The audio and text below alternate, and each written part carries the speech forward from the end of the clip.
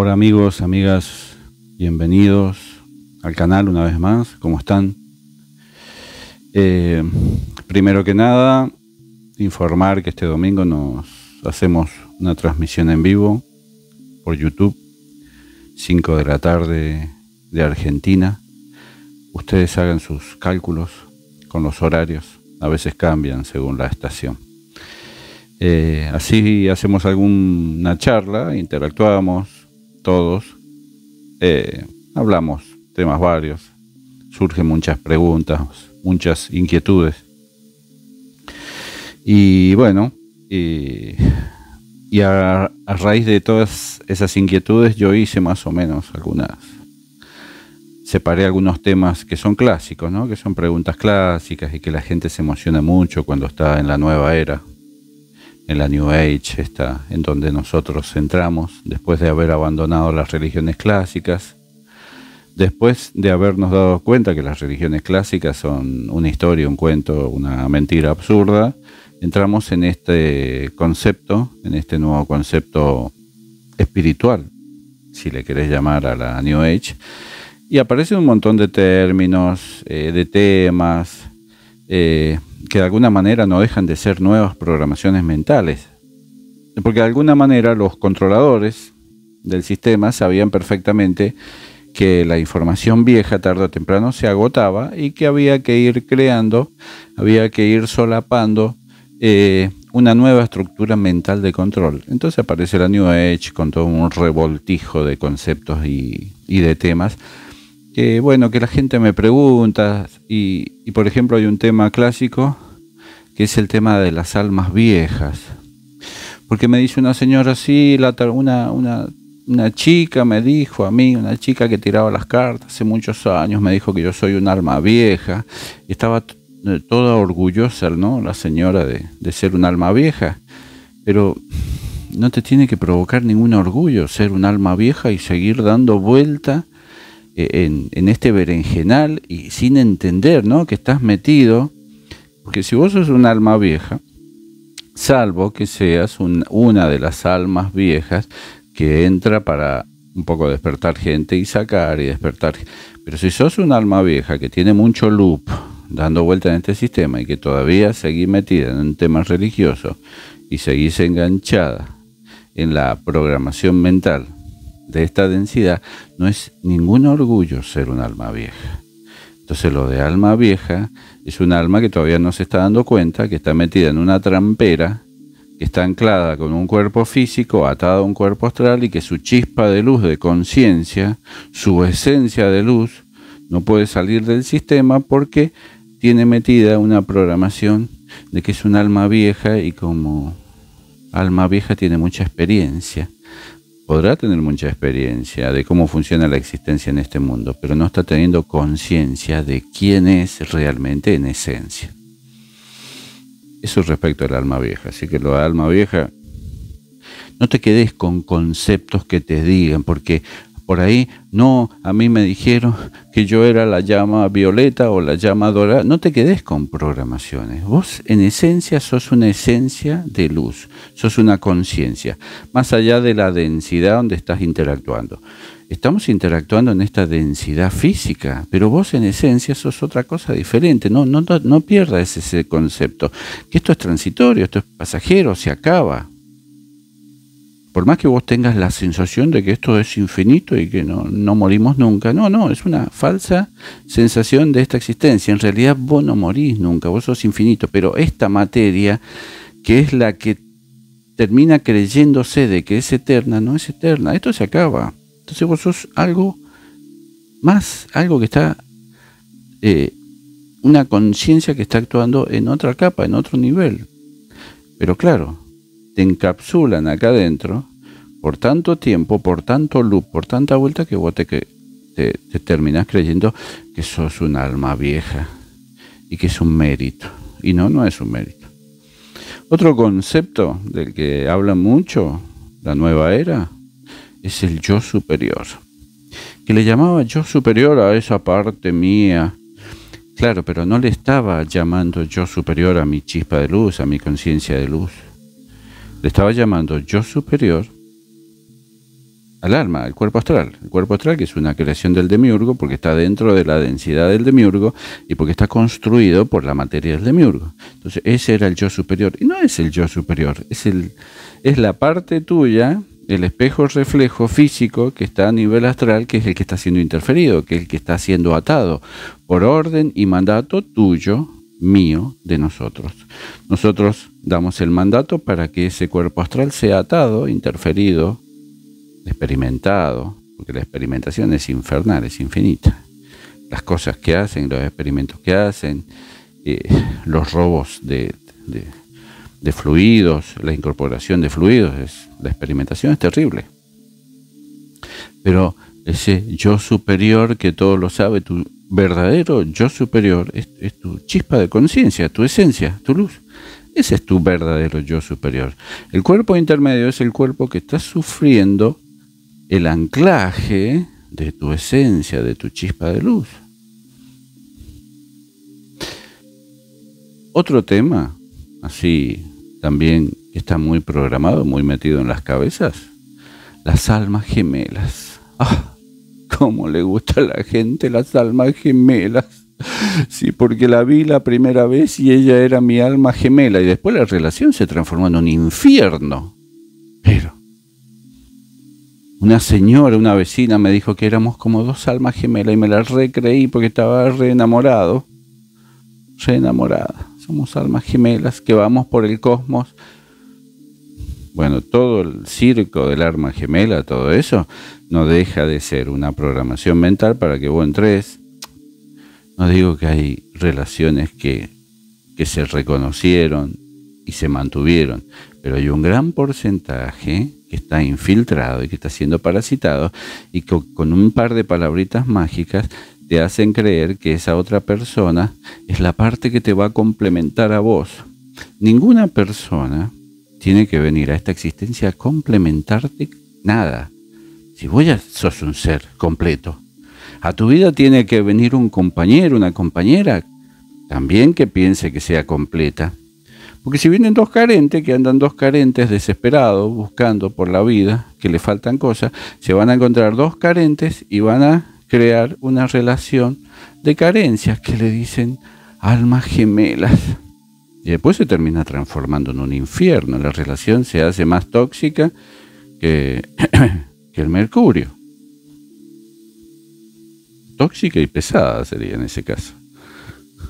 Entonces lo del alma gemela, gente, no, o sea, eh, mi media naranja, le dicen. O sea, como que yo estoy incompleto y que estoy necesitando un pedazo de otra cosa. Sí, podés estar necesitando la compañía, pero a mayor dependencia de algo o de alguien tuya, y más débil te volvés.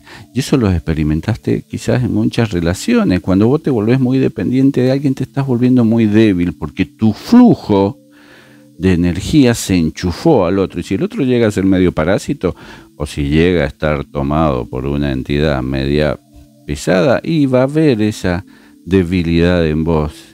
¿Y qué va a decir? Y va a agarrar el cuchillo del tenedor y va a decir, acá tengo para comer. ¿Y cuántas relaciones se mantienen así por años y años? Porque después viene un nivel de anclaje más pesado, que son los hijos. Después aparecen los hijos y los hijos tienen o mantienen forzadamente a esa relación porque no se anima ninguno de los componentes de la relación a cortarla, a terminarla, a escapar. Muchos terminan tomando la decisión de escaparse, de huir, pero muchos se quedan en ese infierno. Entonces estás viviendo un infierno, metido dentro de otro infierno, metido otro... Los niveles de, capas infernales se hacen cada vez más comprimidos y después salir eh, cuesta. Eh, mi estima va quedando destrozada por el piso, yo como ser me vuelvo cada vez más insignificante, empiezan a aparecer sentimientos de autodestrucción, sentimientos de que tengo que terminar con esta existencia porque ya nada tiene sentido y es entendible, porque justamente está atravesando un infierno. Entonces los seres te empujan y te quieren llevar hacia ese proceso de autodestrucción porque con ese proceso de autodestrucción física, de vida tuya, ellos se aseguran nuevamente reingresarte en el sistema para que vuelvas a tener una, diez o cien vidas miserables como la que estabas teniendo. Porque se genera un contrato, una atadura muy pesada. Y los contratos pesados no son contratos livianitos por una vida, por, por dos vidas. No, son contratos que a ellos lo autorizan a mantenerte bloqueado por 50, por 100 vidas más, en este sistema o en otro. Entonces, desprogramemos estos conceptos. Alma gemela, yo superior, soy un alma vieja y me siento orgulloso encima. Es como sentirse orgulloso de que me están, tener conciencia de que me están engañando, de que soy un idiota y me siento, ay, qué orgulloso que estoy de mí mismo. Otro tema infalible en la New Age, muy, muy, eh, muy potenciado en los últimos años, la bendita meditación con ángeles. Aparecieron estos ángeles, estos arcángeles, que no, era, nada, no era nadie, era un arquetipo, un arquetipo que ni siquiera está descrito en los libros estos sagrados pero aparecieron estos arcángeles, que son todos reptiles, ¿no? Estos ángeles, son todos reptiles. Entonces necesitan de la energía de la adoración. La energía de la adoración es una conexión a toda esta gente que encima está en un proceso de meditación. Porque hay meditación y hay meditación. Hay meditaciones neutras donde vos meditas para calmar la mente, para bajar el ruido mental, para calmarte, para para que el sistema nervioso de alguna manera se relaje un poco y no esté tan excitado. Ahora no, hay otros que usan la meditación con la intención de conexión. Y ahí donde es, ahí, ahí entras en un proceso de, de destrucción. Porque vos estás en un estado de relajación física mental conectándote, llamando e invocando a un arconte, a tu arcángel arcángeles con K. Entonces viene el bicho, el jefe según, ¿viste? Porque tenés tanto nombre de todo, arconte. Vos invocás a uno, entonces bueno, cada uno toma. Se han hecho muy grandes estos reptiles, se han hecho muy poderosos últimamente, porque se hacen poderosos eh, a del robo de la energía, de, la idiotez mental que tiene programada la gente en la cabeza. Entonces, claro que se hace muy grande, muy importante. Pero cuando vos te despertás y le perdés el miedo, cuando le perdés el miedo, ¿eh? mucha gente que despierta, entiende esta información, pero le sigue teniendo miedo.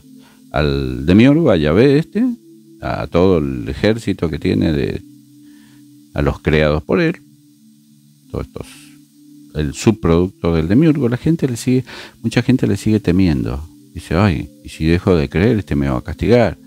Y ni hablar si tenés hijos y todo, lo primero que piensa la gente, ay, va a castigar a mis hijos, le va a mantener enfermedades. Y no está pensando, no está sintiendo que esa persona que tiene ese miedo tiene una conciencia de luz, una chispa de luz muy poderosa, muy fuerte, que no va a permitir que venga cualquier cosa después que vos te limpiaste la cabeza. Tu chispa de luz, tu, tu fuente de luz, mientras más certeza y más confianza tenés vos en vos, en que vos sos esa esencia de luz, mientras más certeza tenés, más protección, más autoprotección tenés. Ahora, mientras más dudes vos de que realmente será así, más débil te volvés y por lo tanto más vulnerable y, más accesible para el bicherío. Así que esta meditación con ángeles, con arcángel, con el universo, con la cata, con la jaula, con lo que sea, elimínala. Medita para calmarte vos, medita para vos, para verte, para ver tu cuerpo, para verte si te han puesto cosas, si te han implantado, si tenés energía, si tenés desencarnados. Y hablando de desencarnados, caemos en un concepto de adoración que la verdad es eh, muy parásito también. Los ancestros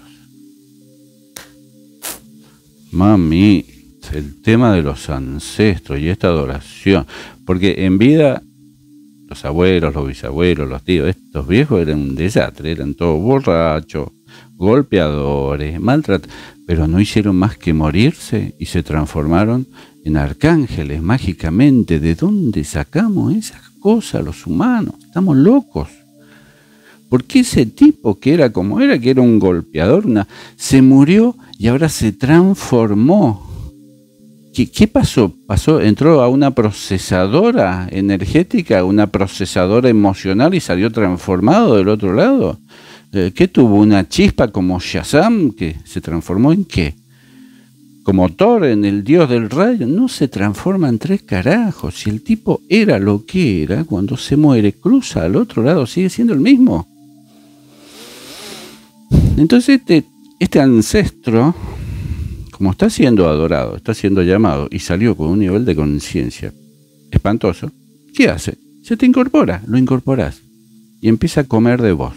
Se alimenta de vos, empieza a tener vivencias tuyas, empieza a empujarte, a llevarte, a incitarte hacia algunos mm, vicios que él tenía, si le gustaba mucho el drinking, y bueno, te va a empujar, vas a empezar a tener alguna necesidad de drinking, o si era muy adicto a lo sexual y te va a llevar a empujar a lo sexual. ¿Por qué? Porque, y no incorporás uno, ¿eh? Porque en ese llamado, en esa aceptación, hay una aceptación del físico, como hay una adoración, hay un llamado, vienen otros y vienen cualquiera, ya viene. Y no es que vengan solos. Si vos decís, no, viene la abuelita, el abuelito solo, porque mi abuelita me cuidó, era muy buena la viejita, se portó muy bien conmigo. Porque a veces los viejitos cuando llegan a viejitos sí, son buenos, se vuelven buenos, pero vos le mirás la vida para atrás cuando eran jóvenes. Eran un desastre. Entonces, ¿qué estás incorporando? No viene solo, ¿eh? Viene con toda la implantación que tenía, viene con todo el bicherío y los parásitos que tuvo en vida entonces no lo estás comparando, vos estás haciendo el proceso del ancestro, de la incorporación. Mis ancestros me dan información, me dicen algunas personas. Yo le digo, ¿qué información te dieron? A ver, decime, contame, ¿qué información te dieron? Eh, se queda patinando la gente, pues no, no te dan nada. Y en esta, en esta banda de ancestros, ¿qué tenemos? La hermandad blanca, los hermanos superiores, los pleyarianos y la famosísima Confederación Galáctica. Y son todos estos reptiles, insectoides, grises, todos de acuerdo trabajando para sembrar estas granjas. para sembrarlas, para manipularlas mentalmente. Como tienen tu autorización, la mía, la de nosotros, nosotros estamos necesitadísimos de que venga algo mágico a salvarnos, por favor, venga. ¿A salvarte de qué? No, el nivel de idiotez mental que tenemos los humanos es tremendo. Los ancestros, la abuelita, vuelvo con los ancestros. la abuelita que iba a misa todos los domingos. No, pero mi abuelita era súper religiosa los domingos, iba a misa, se confesaba, tomaba la, la hostia. Pero en la semana se la pasaba de curandero en curandera, haciendo brujería, haciéndole limpieza, haciendo de todo.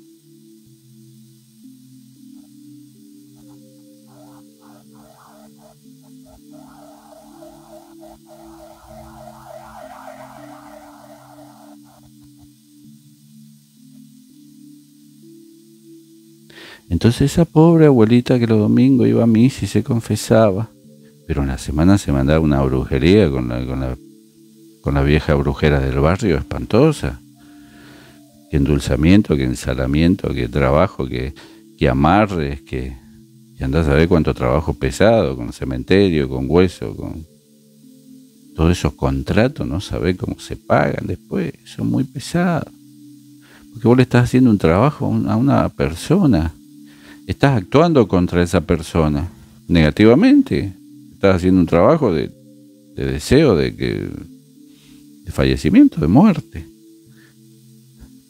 Se paga muy caro, son contratos muy pesados. Esos son los ancestros. Le vamos a prender una vela. No, no, los, los tenemos que quemar, tenemos que prender fuego. Tienen que salir, se tienen que ir, tienen que seguir su camino. Los desencarnados tienen que salir, tienen que salir, los tenés que, los tenés que echar se tienen que ir, tienen que seguir su camino evolutivo, tienen que volver a entrar y entrarán una, diez, cien veces hasta que se despierten y hasta que entiendan que realmente son esencias que están enganchadas en este circo. Y bueno, toda esta programación de los pleiadianos, de los hermanos superiores, de que la cosa superior, siempre la hermandad blanca, porque son blanquitos, luminosos, seres de luz. Los disfraces de, ser brillante y de ser luminoso, pues son re fáciles para estos tipos. Si manejan la energía, te leen, te escanean los seres te escanean energéticamente. Si yo cuando estoy haciendo las sesiones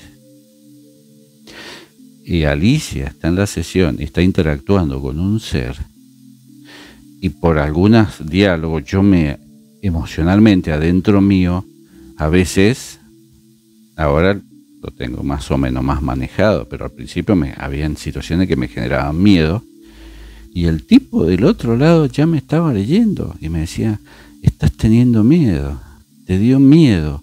Fíjense cómo te leen energéticamente. Yo que estoy acá en el físico haciendo una emanación de mi miedo, porque lo estoy generando yo, y a través de Alicia la canaliza Alicia y él me está viendo.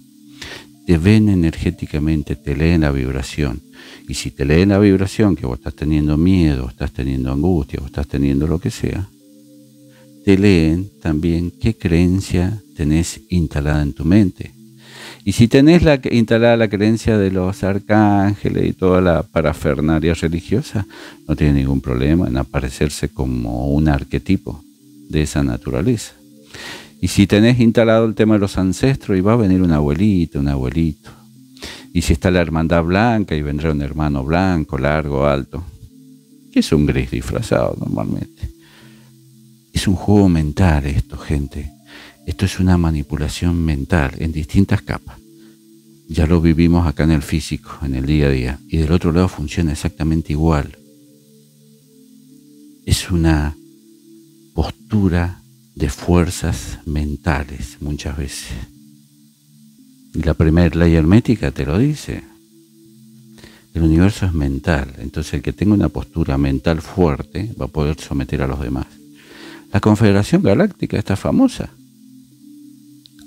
volviendo al fraude, ¿no?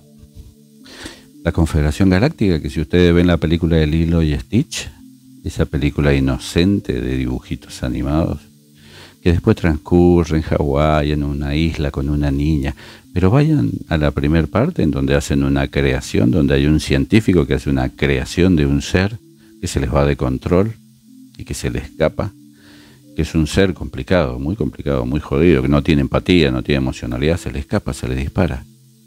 Es un experimento.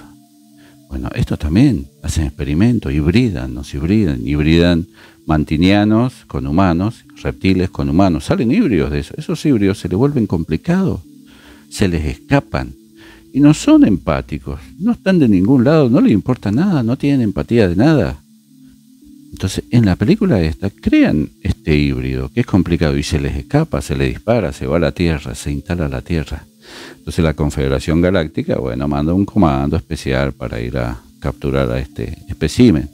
Al principio la Confederación Galáctica, Galáctica va a destruir la Tierra, no va a destruir la isla esa donde cae, porque creo que cae en Hawái. Y dice, bueno, destruyamos la isla, dice la jefa de la Confederación Galáctica. Y uno de los científicos dice, no, no, no, porque tenemos que proteger a las especies que viven en ese planeta, hay un montón de especies.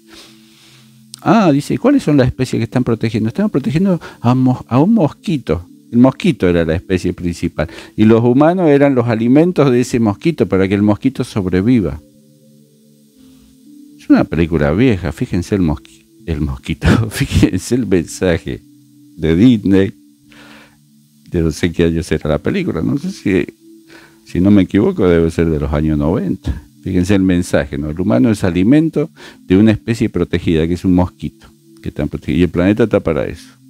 Tiene un montón de especies que cada tanto dice que un meteorito los destruye a todos y tienen que volver. Esa es la Confederación Galáctica, tal cual, como la Real Confederación Galáctica. Lo único que le importa es el ganado, la energía y la comida. Los espero este domingo, 5 de la tarde, de Argentina. Y les mando un abrazo. Sigamos trabajando. Cuídense. Y nos vemos pronto. Chao.